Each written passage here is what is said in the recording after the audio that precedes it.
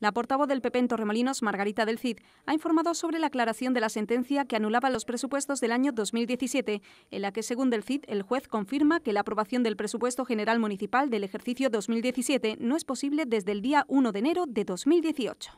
Efectivamente, el miércoles recibimos esa aclaración de la sentencia, donde se dice claramente que ningún presupuesto puede aprobarse fuera del año corriente, es decir, eh, tenían hasta el 31 de diciembre de 2017 para aprobar ese presupuesto.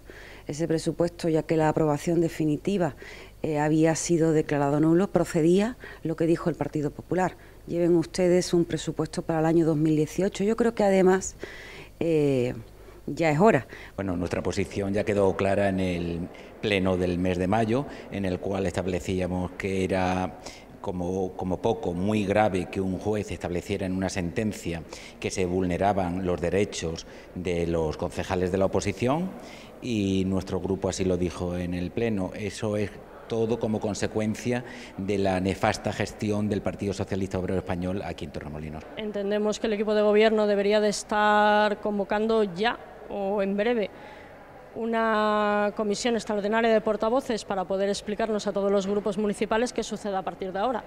Porque que un ayuntamiento no tenga presupuestos implica que no tiene a dónde imputar gasto, con lo cual implica que teóricamente no se podría pagar nada en este ayuntamiento.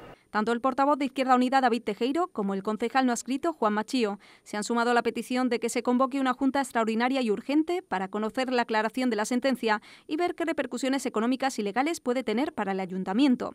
Por su parte, la primera teniente de alcalde y concejala de Economía y Hacienda, Maribel Tocón, ha manifestado que el único organismo que puede anular unos presupuestos es el Tribunal Superior de Justicia de Andalucía, algo que ya desestimó el propio tribunal.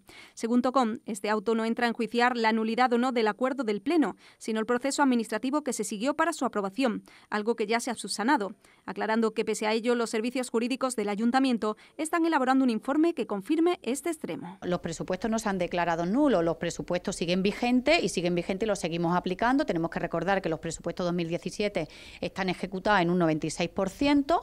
En este momento estamos aplicando los presupuestos 2017 prorrogados. Estamos ya a mitad de año, se está trabajando para la elaboración del, del proyecto de presupuesto 2018, el juez dice que la sentencia es muy clara y entonces dispone la conclusión del auto del juez es que debo no aclarar y no aclaro la sentencia. Porque no hay nada que aclarar, la sentencia era clara. Era una sentencia que decía que había que restituir los derechos fundamentales de los concejales del Partido Popular. Y eso se hizo y como se hizo, está hecho. Si el juez Margarita del CI o cualquier ciudadano que pase por la puerta entiende que los presupuestos no son legales, pues es una opinión.